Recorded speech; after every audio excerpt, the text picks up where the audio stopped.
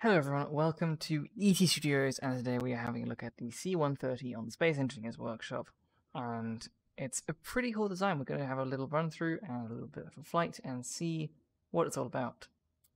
So here we are at the left-hand entrance to the aircraft, and as you can see we've got two engines on the side which are actually on rotors, which doesn't look particularly safe, but we'll figure that out later.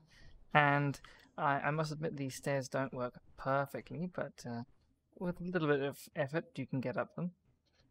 Here we are in the really cool looking little cockpit. We've got a seat side here, as well as two cockpits for pilots. And if you look back here, we've got some other uh, side doors over here, as well as the main entrance at the back for loading cargo. So let's close that up.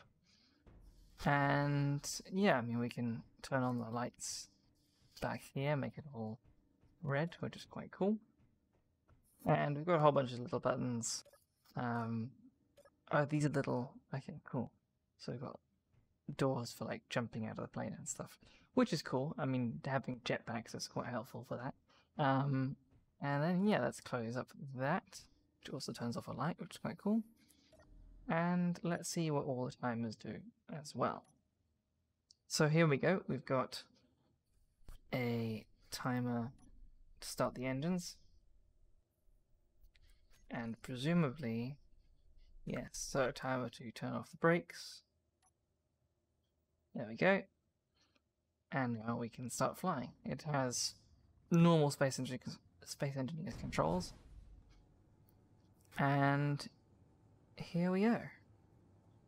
No mods are required to run this, and pretty sure it doesn't even require any DLC, which is quite nice. And yeah, there we go. We can press number three and four. Don't know what three does actually, um, but I know that four retracts the landing gear, which is quite cool. And here we go.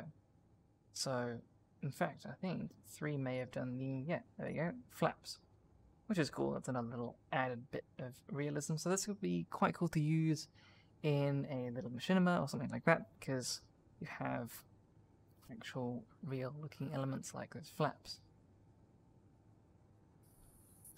The propellers are pretty cool. They're actually spinning quite nicely and don't appear to have any issues relating to the performance of the aircraft, which rotors usually have. So let's have a look and see if we can do a quick crash test.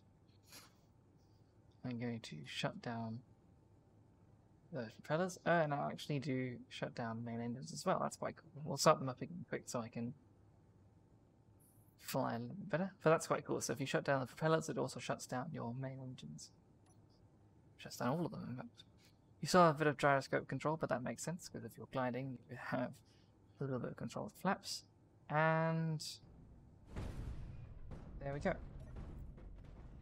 Not too bad. Uh, not the best crash in the world, but pretty cool. Let's open the back door here. I can inspect the damage. So it looks like a bit of a clang may be involved here, because when you crash things with rotors, it's not usually the best thing to do in the world. But overall, not too much damage, and I think you could definitely have a crew of people who would survive that crash, so that's quite nice to know. And yeah, I'm pretty happy with the design, and I'd highly recommend checking it out in the description below. And if you have any questions, comments, or suggestions, please let me know in the comment section below. But otherwise, here's been your super quick little C-130 review from the Space Engineers Workshop. I'll see you in the next video. Thank you for watching, and goodbye.